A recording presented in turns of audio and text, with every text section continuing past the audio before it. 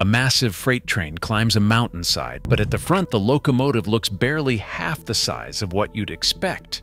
This is the story behind the smallest locomotive that pulled the heaviest trains, machines costing a fraction to build, outfitted with radical gears, somehow able to haul a thousand tons up 14% grades where giants failed. How did an unlikely invention outmuscle the industry standard? And what did it cost those who depended on it? The mountains of West Virginia, Oregon, and California posed a problem that no ordinary locomotive could solve.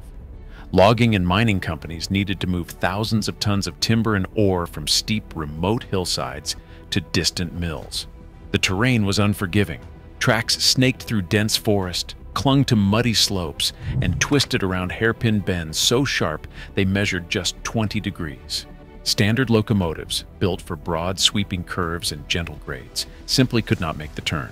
Their long, rigid wheelbases locked them out of the mountains, and their heavy frames threatened to shatter hastily laid rails with every pass. The cost of building a railroad into these wild places was staggering. Standard gauge track, with its wide rails and careful grading, demanded 15,000 to $25,000 for every mile. For companies chasing fast profits in the woods, that price was impossible. Instead, they turned to narrow gauge, three-foot rails, thrown down for a fraction of the cost, sometimes just $3,000 to $5,000 a mile. These tracks wound through the landscape with little regard for permanence, often laid directly on logs, mud, or even bare ground. Bridges were little more than timber trestles, thrown across ravines as needed, and abandoned when the logging moved on. But cheap track brought its own dangers. Grades soared to 10, 12, even 14%. Slopes so steep that a standard locomotive would spin its wheels helplessly or slide backwards. Curves doubled back on themselves in spaces barely wider than a two-lane road. The financial pressure was relentless. Every mile had to be built as cheaply as possible. Every load had to reach market, no matter how brutal the path. This was the crucible that demanded a new kind of locomotive, one that could bend with the track, grip the rails, and pull heavy trains where no other engine dared to go. Ephraim Shay was not a formally trained engineer, but a Michigan timberman determined to solve a problem that stumped the railroad giants. His answer, patented in 1881, looked nothing like the sleek locomotives of the main line. Instead, Shay's machine bristled with vertical cylinders bolted to one side of the boiler, spinning a crankshaft that ran the length of the locomotive. This crankshaft, through a system of exposed gears and universal joints, powered every axle on every truck beneath the engine. The boiler itself sat offset to the left, counterbalancing the weight of the machinery and giving the Shay its distinctive lopsided look. The genius of the design was in the gearing. By reducing engine revolutions through a 3 to 1 or even 4 to 1 gear ratio, Shay's locomotive traded speed for unstoppable torque. On paper, the Shay could crawl at just 6 miles per hour, but every wheel dug in, gripping rails that would have sent a conventional engine spinning helplessly. And because the drive system flexed with the trucks, the locomotive could twist and snake around curves that would have derailed any rigid-framed engine. Shay's invention did not stand alone for long.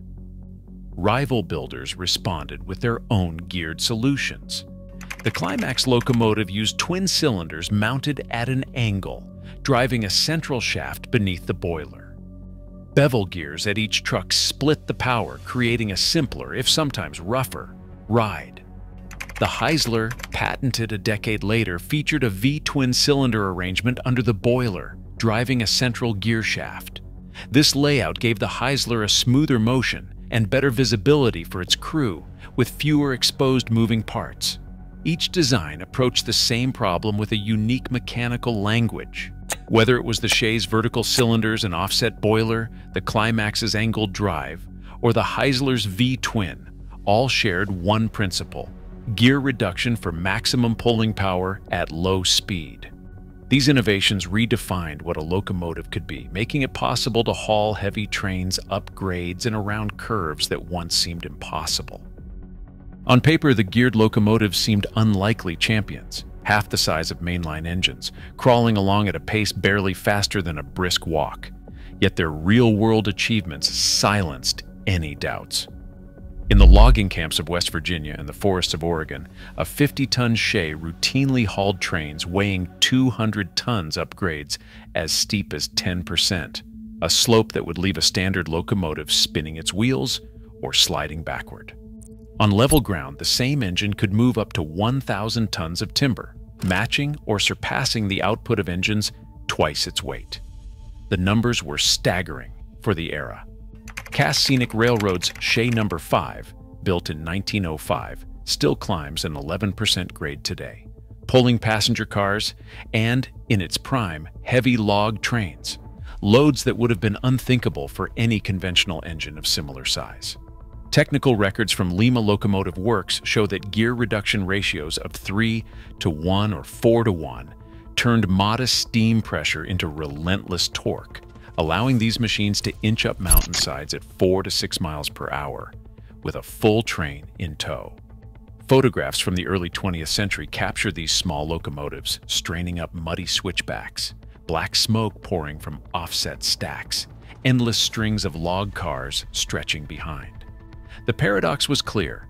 The smallest locomotives, running on the cheapest, roughest track, were moving the heaviest loads. For the men who staked their livelihoods on every run, the proof was in every successful climb, every load delivered to the mill, and every day the rails held under the impossible weight. The men who ran these geared locomotives knew the risks from the moment they stepped into the cab.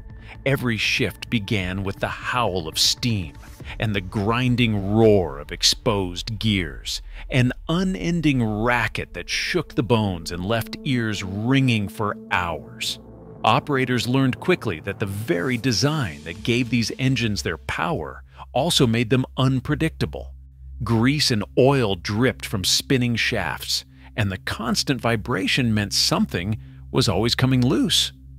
Roadside repairs became part of the daily routine. A broken gear tooth could bring a train to a halt miles from camp, forcing crews to crawl under the engine with wrenches and hammers, racing against the clock as the forest closed in and the mountain air grew cold. The dangers went far beyond inconvenience. When a gear failed under load, the consequences could be deadly Engineers told of moments when the drive shaft seized without warning or a gear shattered with a crack like a rifle shot. On steep grades, a lost gear meant a runaway. Tons of logs and steel thundering backwards down the mountain, with nothing but the handbrake and luck to save the crew. In 1910, a Shay working the Elk River line suffered a catastrophic gearbox failure. The explosion hurled metal across the cab, killing the engineer instantly and sending the locomotive and its train plunging off the embankment. The story spread quickly among logging camps, a grim reminder that even the smallest engine could become a death trap in an instant. For the men in the cab, the job was a test of nerve as much as skill.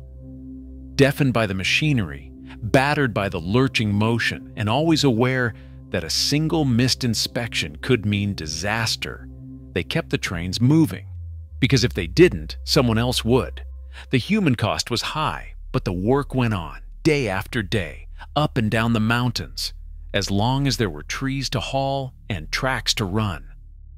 By the middle of the 20th century, the world these locomotives conquered had changed. Diesel engines, with their quiet reliability and far longer range, swept through logging camps and mountain railroads. They could haul more, burn less fuel, and required only a fraction of the maintenance. The days of the geared steam locomotive seemed numbered. One by one, the old engines were parked, stripped for parts, or simply left to rust at the end of abandoned tracks.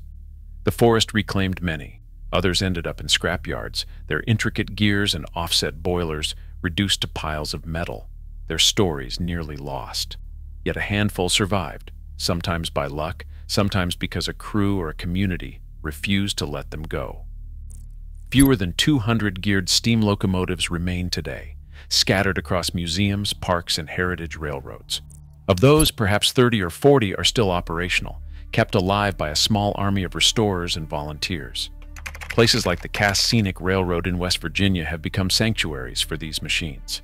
There, Shay Number 5, built in 1905, still climbs the same mountain grades it conquered over a century ago. Its gears clattering and steam billowing as tourists ride in the shadow of its legacy. Keeping these engines running is a craft passed down through generations. Modern restorers work with blueprints drawn in the 19th century, machining new parts by hand, scouring the country for rare castings, and inventing solutions for problems their predecessors never imagined. Each overhaul is a puzzle, each run a celebration of survival. The sight of a geared locomotive in motion, alive with steam and motion, gears exposed and working, reminds us that engineering genius is not always about size or speed, but about purpose and perseverance. These survivors offer a living lesson. Sometimes the machines that seem least likely to endure leave the deepest mark. Today, fewer than 200 geared steam locomotives survive worldwide, with only 30 to 40 still operational, clear evidence of how few remain from the thousands once built. This documentary has shown how small locomotives like the Shay, Climax, and Heisler achieved the impossible, hauling massive loads up grades as steep as 14%, and navigating 20-degree curves that would defeat conventional engines. Their power came not from size, but from ingenious design. Gear reductions of 3 to 1 or 4 to 1, flexible truck-mounted drives, and affordable narrow-gauge tracks. Yet the full scope of their most extreme feats, and such as confirmed 1,000-ton hauls on steep grades, remains partly undocumented due to the scarcity of primary records. What is known is that these machines transformed industries and made remote logging and mining possible. Their legacy endures at sites like Cass Scenic Railroad, where visitors witness their unique capabilities firsthand.